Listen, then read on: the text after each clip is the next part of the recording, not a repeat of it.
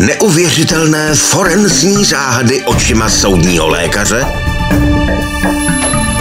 a muži, kteří chtěli nastolit spravedlnost na divokém západě. Okultní zločiny a právo divokého západu. Ve středu večera na CS Mystery.